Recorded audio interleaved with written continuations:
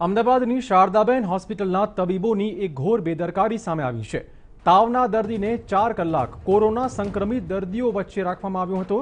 એમ્બ્યુલન્સમાં પણ નેગેટિવ દર્દીને પોઝિટિવ દર્દી સાથે મોકલી અપાયો હતો. તપન હોસ્પિટલે દર્દીને દાખલ ન કરતા હોસ્પિટલ પરત મોકલાયા હતા. શારદાબેન હોસ્પિટલ પહોંચતા દર્દીનો રિપોર્ટ નેગેટિવ હોવાની વિગતો સામે આવી. ભૂલ છતી થતા આસિસ્ટન્ટ આરએમઓએ દર્દીના સગાને ધમકાવ્યા પણ હતા.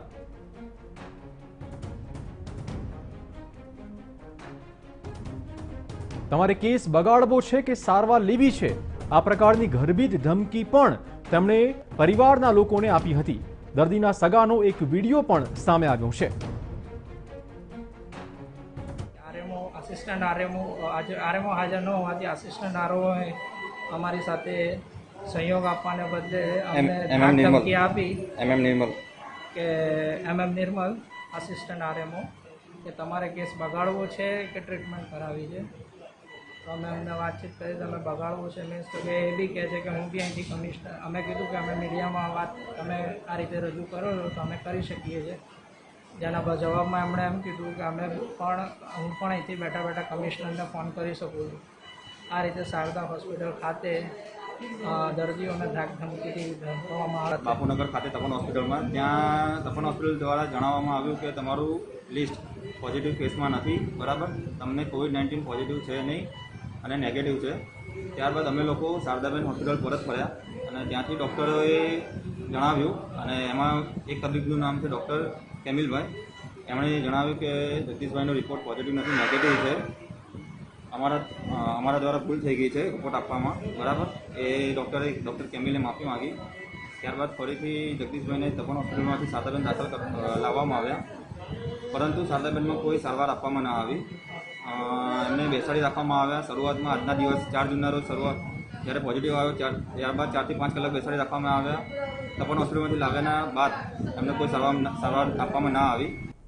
તો દર્દીઓ પરેશાન ચોક્કસ છે વધુ વાત કરવા જોડાશે અમારા સંવાદદાતા જિગ્નેશ. જિગ્નેશ, જે રીતે આ સગાવાલા અને પેશન્ટ કહી રહ્યા છે કે ચોક્કસ પ્રકારે ધમકી આપવામાં આવી હતી, કોઈ પણ વ્યક્તિ એ હોસ્પિટલમાં કેસ બગાડવા શા માટે જાય? આ પ્રકારની ધમકીનો શું તાત્પર્ય હોઈ શકે? ચિરાગ સૌ પ્રથમ તો જે સમગ્ર ઘટના છે તેને ટૂંકમાં એક વર્ણન કરીશ કે એક એવો દર્દી કે જેને સામાન્ય તાવ હોય છે અને તે શારદાબેન હોસ્પિટલમાં સારવાર અર્થે જાય છે. આ દર્દીને એક દિવસ સારવાર આપવામાં આવે છે, તેનું સેમ્પલ કોવિડ માટેનું લેવામાં આવે છે. બીજા દિવસે તેનો રિપોર્ટ પોઝિટિવ હોવાનું તેને જણાવવામાં આવે છે અને તેને ત્યાંથી એક પ્રાઇવેટ હોસ્પિટલમાં શિફ્ટ કરવાની વાત હોસ્પિટલના સ્ટાફ દ્વારા કરાય છે. તપન હોસ્પિટલમાં તેને શિફ્ટ કરવાના સમય દરમિયાન તેનો રિપોર્ટ પોઝિટિવ હોવાની જાણ થતાની સાથે તેને પોઝિટિવ દર્દીઓ સાથે, ચાર જેટલા પોઝિટિવ દર્દીઓ સાથે તેને બેસાડી દેવામાં આવે છે અને ચાર કલાક બાદ એમ્બ્યુલન્સમાં અન્ય એક પોઝિટિવ દર્દી સાથે જે સામાન્ય તાવનો દર્દી હતો તેને અને તેના દીકરાને બંનેને કે જેઓ નેગેટિવ હતા કોઈ પણ પ્રકારના તે- અ, તેઓ પોઝિટિવ ન હોવા છતાં પણ પોઝિટિવ દર્દી સાથે એમ્બ્યુલન્સમાં બેસાડી તપન હોસ્પિટલ તેઓને મોકલી અપાયા. તપન હોસ્પિટલમાં જતાની સાથે જ અ, હોસ્પિટલના સંચાલકોએ પ્રાઇવેટ હોસ્પિટલના સંચાલકોએ તેઓને વિગતવાર જાણ કરી કે તેઓ કોઈ પણ પ્રકારે પોઝિટિવ નથી. અ, તેઓનો રિપોર્ટ અ, તેમની પાસે પહોંચ્યો નથી. લિસ્ટમાં તેમનું નામ નથી. માટે તેઓ એડમિટ તે દર્દીને નહીં કરે. આવું જણાવતા તે દર્દી ફરી એક વખત શારદાબેન હોસ્પિટલમાં પરત જાય છે અને આ જ હોસ્પિટલમાં જે ત્યારબાદની વિધિ છે, તે ખૂબ જ જરમ શરમજનક ગણી શકાય. કારણ કે જ્યાં- જ્યારે તેઓ ઉપરી અધિકારીઓને જાણ કરે છે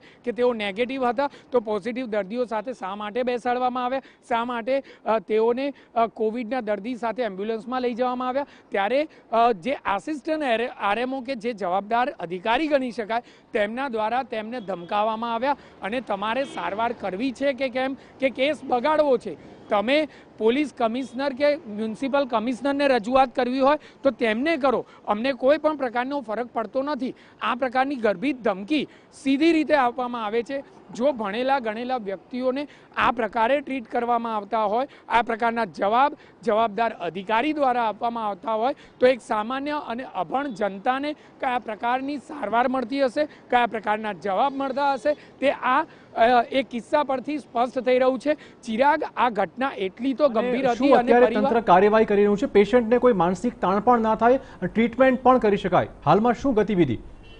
ચિરાગ જે ગતિવિધિની વાત કરી આપનો સવાલ ખૂબ જ સારો છે કારણ કે જ્યારે પરિવાર ડરી ગયો હોય. હેપટાઈ ગયો હોય અને જ્યારે આ પ્રકારની તેને ધમકી આપવામાં આવી હોય ત્યારે આ જ પરિવારે પોતાના દર્દીને શારદાબેન હોસ્પિટલમાંથી ડામાં લઈને રજા લઈ લીધી. એટલે કે હોસ્પિટલ સ્ટાફ પરિવારજનો પાસેથી લેખિતમાં એવું લખાવ્યું છે કે દર્દીને અહીંથી અમે રજા આપીએ છીએ અને તે પણ તમારી શરત ને આધીન તમારા તમારા જોખમે. અમે રજા આપીએ છીએ. અને એટલા માટે જ તેઓના જોખમે તેને રજા આપી દેવાઈ અને દર્દીને ના છૂટકે પ્રાઇવેટ હોસ્પિટલમાં સારવાર માટે આ પરિવારે લઈ જવા પડ્યા અને જે પ્રકારે બેદરકારીના અનેક કિસ્સામાં જોવા મળ્યા છે હજી સુધી મ્યુનિસિપલ કોર્પોરેશનના અધિકારી દ્વારા. કોઈ પણ પ્રકારના પગલાં લેવાયા નથી કોઈ પણ પ્રકારે કોઈ જાણ કરાઈ નથી ન તો તપન હોસ્પિટલ ન જવાબદાર ડૉક્ટર કે જેઓએ નેગેટિવ દર્દીને પોઝિટિવ જાહેર કર્યો હતો ન તો આસિસ્ટન્ટ આરએમઓ